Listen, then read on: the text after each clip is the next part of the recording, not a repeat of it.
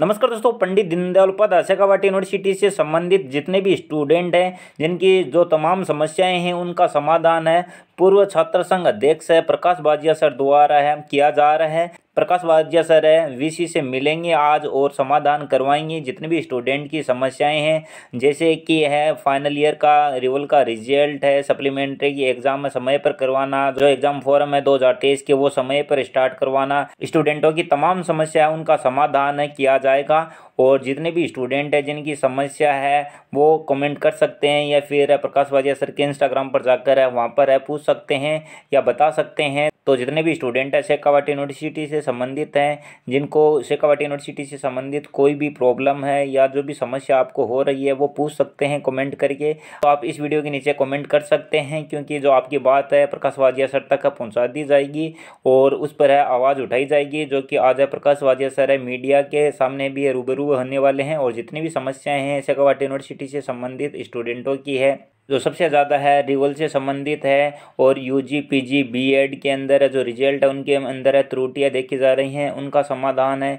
जितने भी स्टूडेंटों को प्रॉब्लम हो रही हैं, उन सभी समस्याओं का समाधान आज किया जा रहा है और जो पिछले पाँच साल के रिज़ल्ट है, वो भी ऑनलाइन करवाए जाएँगे। तो आज प्रकाश वाजिया सर हैं, जो पूर्व छात्र संघ अध्यक्ष रह चुके हैं वो आज आवाज़ उठा रहे हैं। तो प्रकाश वाजिया सर है, इन पर आवाज़ उठा रहे हैं। आज मीडिया के सामने रूबरू होंगे और जो शेखावाटी यूनिवर्सिटी के वीसी हैं, बागीर जी बिजाणिया उनसे भी है, बात करने वाले हैं। और जो परीक्षा नियंत्रक हैं, उनसे भी बात करने वाले हैं। जितने भी स्टूडेंट की समस्याएँ हैं उनका समाधान किया जाएगा। तो आपकी जो भी समस्याएँ हैं, वो कमेंट के माध्यम से पूछ सकते हैं। जो भी समस्या होगी, प्रकाश वाजिया सर तक है पहुँचा दी जाएगी। तो आप पूछिए और मैंने भी बहुत सारी समस्याएँ हैं, स्टूडेंट की थी, वो मैंने रखी है। प्रकाश वाजिया सर तक पहुँचाई है।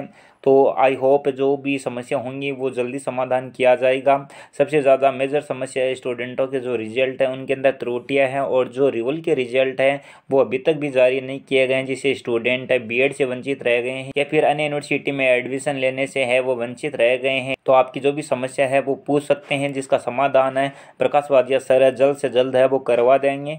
तो जो भी आपकी समस्या है कमेंट ज़रूर करें। जो आपकी समस्या है, आगे प्रकाश वाजिया सर तक पहुँचा दी जाएगी। आज प्रकाश वाजिया सर है, जो मीडिया के सामने और यूनिवर्सिटी के अंदर है, जाने वाले हैं और जो समस्याएँ हैं, वो रखी जाएँगी और जो आपकी बातें हैं, जितनी भी समस्याएँ हैं, वो यूनिवर्सिटी में रखी जाएँगी। जिनका समाधान है, वो किया जाएगा। तो स्टूडेंट को जो भी समस्या हो रही है, वो कमेंट ज़रूर करें। तो आपकी जो भी समस्या है स्टूडेंट कमेंट ज़रूर करें। थैंक यू धन्यवाद।